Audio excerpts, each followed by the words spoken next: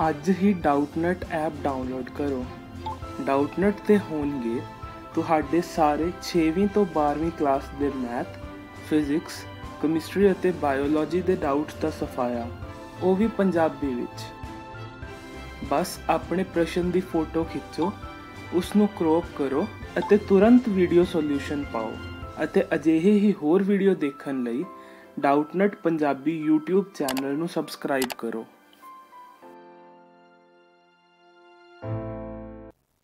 ਜੀ ਸਾਡਾ ਕੁਐਸਚਨ ਹੈਗਾ find the zeros of the following quadratic polynomial and verify the relationship between zeros and the coefficients ਤੇ ਤੁਹਾਨੂੰ ਜਿਹੜਾ ਪੋਲੀਨੋਮੀਅਲ ਦਿੱਤਾ ਹੋਇਆ ਹੈ 4u2 8u ਬੜਾ ਸੌਖਾ ਜਿਹਾ ਧਿਆਨ ਦਿਓ ਪਹਿਲਾਂ ਤਾਂ ਆਪਾਂ ਲੈਟ ਕਰ ਲਿਆ ਇਹਨੂੰ pu ਕੋਈ ਵੀ ਇੱਕ ਵੇਰੀਏਬਲ ਹੈਗਾ ਸੌਰੀ ਪੋਲੀਨੋਮੀਅਲ ਹੈਗਾ ਤੁਹਾਡਾ ਉਹ ਕਿੰਨਾ ਹੈਗਾ 4u2 8u 80 ਚੰਗਾ ਜੀ, ਇੱਕ ਗੱਲ ਦੱਸੋ, ਤੁਹਾਡਾ ਜਿਹੜਾ ਕੋਈ ਵੀ ਕੁਆਲਿਟੀ ਪੁਆਇੰਟ ਬਣਾਉਂਦਾ ਉਹ ਕਿਹੋ ਜਿਹਾ ਹੁੰਦਾ ਵੇਖਣ 'ਚ?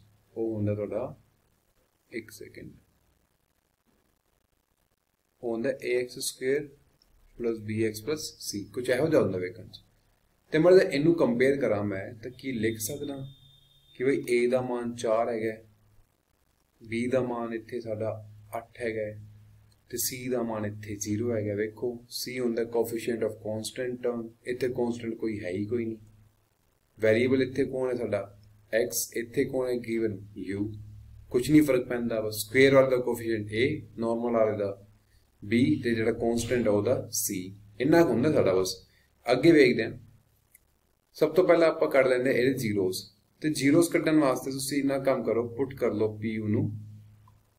Pu ਮਤਲਬ ਤੁਹਾਡਾ ਹੈ ਜਿਹੜਾ ਪੋਲੀਨੋਮੀਅਲ ਨੂੰ ਜ਼ੀਰੋ ਰੱਖ ਲੈਂਦੇ ਆਪਾਂ।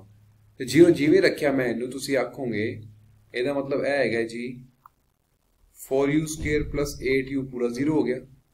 ਤੇ ਇਹਨੂੰ ਮੈਂ ਜੇ ਸੋਲਵ ਕਰੀਏ ਆਪਾਂ, ਤੇ ਇੱਥੋਂ ਮੈਂ 4u ਕਾਮਨ ਲੈ ਸਕਦਾ ਤੇ ਕੀ ਬਚਦਾ ਇੱਥੇ? u 2 0 ਹੈ ਕਿ ਨਹੀਂ? ਹੁਣ ਤੁਸੀਂ ਇਹਨੂੰ ਸੋਲਵ ਕਰੋਗੇ, ਤੁਸੀਂ ਆਖੋਗੇ 4u ਵੀ 0 ਦੇ ਇਕੁਅਲ ਤੇ u 2 ਵੀ 0 ਦੇ ਇਕੁਅਲ ਤੇ ਤੁਸੀਂ ਇੱਥੋਂ ਦੀ ਕੀ ਆਖੋਗੇ? ਸਿੱਧਾ ਸਿੱਧਾ ਕਿ u ਦੀ ਕੀ ਕੀ ਵੈਲਿਊ ਆਣਗੀ ਇੱਕ ਤੇ 0 ਤੇ ਦੂਜੀ ਕੀ ਆਣੀ ਹੈ? ਇੱਥੋਂ ਦੀ -2 ਤੇ ਮੇਰੇ ਬੱਚੋ, ਇਹ ਤੁਹਾਡੇ ਨੰਬਰ ਆਫ ਜ਼ੀਰੋਜ਼ ਹੋ ਗਏ।